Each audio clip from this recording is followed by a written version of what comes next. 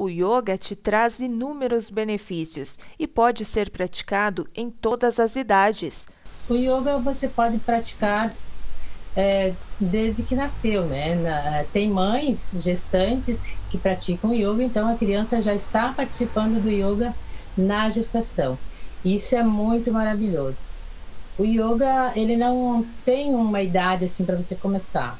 Nem para parar. Muito procurado por trazer o equilíbrio físico e mental com o método. Assim também se define o yoga. Em poucas aulas já é possível perceber as mudanças. O objetivo do yoga é te proporcionar uma qualidade de vida mais saudável, né, para você se sentir bem com você mesmo, entendeu? Então você vai é, aprender a se conhecer melhor, olhar para você, se observando, né, através da prática da respiração, porque a respiração é a ponte que liga uh, teu, a tua mente com o teu corpo, tá?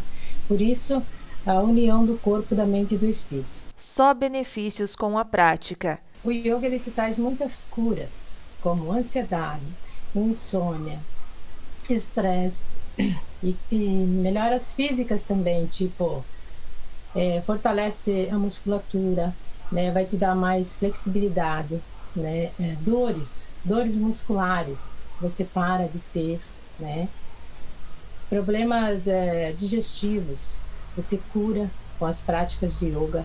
Existem as asanas, né, que são as posturas é, direcionadas para cada problema.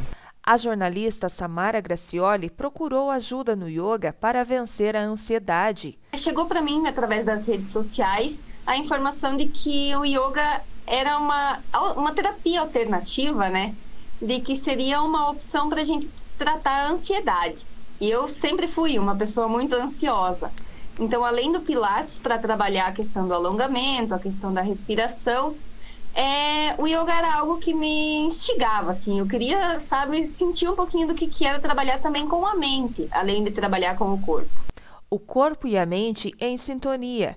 É exatamente assim que a Samara se sente hoje, depois de algumas aulas. Descobriu coisas que antes passavam despercebidas devido à vida corrida de jornalista. Ela deixava de cuidar de si mesma. A gente acaba esquecendo de nós, às vezes. E nessa uma hora que eu faço por semana de yoga, é o momento que eu desligo de tudo, sabe? É o momento que eu consigo realmente cuidar de mim, tratar de mim. Então as aulas elas começam com as posições, a gente faz vários exercícios de alongamento, de fortalecimento também. Eu senti que diminuiu bastante as minhas dores nas costas que eu tinha, até porque eu trabalho bastante tempo sentada também, né?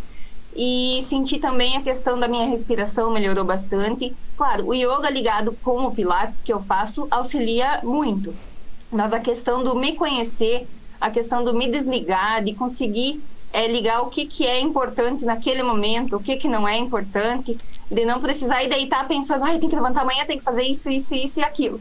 Então, eu acho que isso ajudou bastante nessa questão é, de dar aquela parada.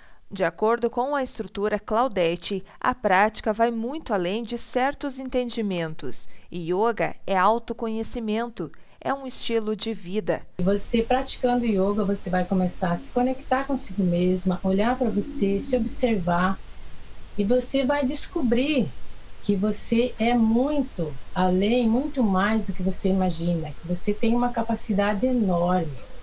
Então é isso que é o bacana, sabe? Você pode começar da onde você está, né? Não, não se preocupe, sem se preocupar em imitar ninguém, né? É tudo dentro do teu limite. A Samara encontrou no yoga essa técnica milenar indiana que tanto temos escutado falar, a alternativa para melhorar sua vida. Então, fica a dica. Quem puder conhecer, não só a questão, como eu comentei, das posições, a questão física, né? Mas principalmente a questão mental, eu acho que nesse período em que a gente está vivendo, em que a gente está dentro de casa, sozinho, né? Sem poder muitas vezes estar perto de quem a gente gosta. O yoga é uma prática que dá para fazer também em casa, né?